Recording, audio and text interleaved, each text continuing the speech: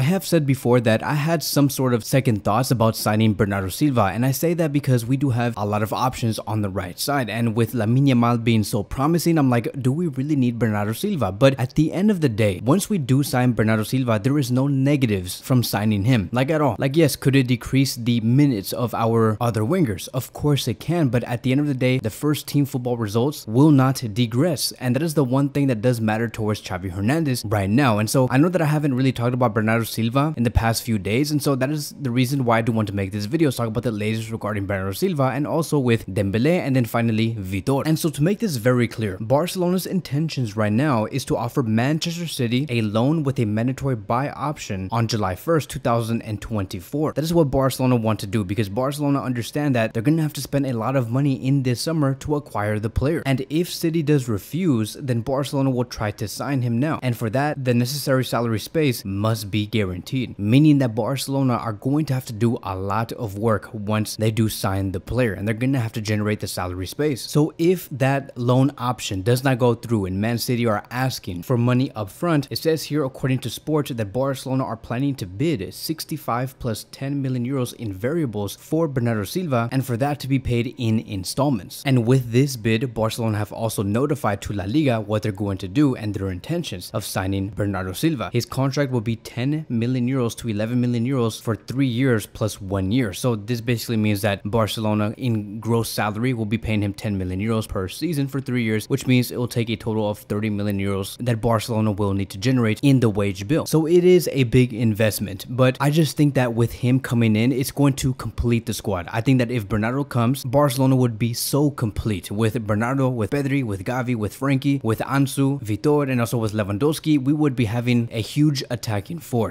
And the only thing that would be left from there is for Xavi Hernandez to really nail it and get it right, to have all of these players have great chemistry together. Because if we can win La Liga with the players that we had in the previous season, knowing that they were one of the youngest teams in La Liga, then we can definitely win even more trophies with these added players. With Oriol Romeu, with Bernardo Silva, with Gundogan, all of these veteran players, it would definitely give this squad the upper edge. And with the inclusion of Bernardo Silva, it would be amazing to see. Like to have Pedri and Bernardo on the right side, just creating, constantly generating opportunities for our strikers, it's going to be one hell of a team. Like if I was Real Madrid or if I was Atletico Madrid or if I was Inter Milan or AC Milan or any other team in Europe, I would be scared. I would I would be scared about potentially facing this Barcelona side. And and again, that's if Xavi Hernandez gets it 100% right. It's going to be up to him. If things fail with these transfers and we end up not winning a lot and we only win La Liga, it will be a failure on Xavi Hernandez because at the end of the day, he also asked for these specific players. And so yes, it's true that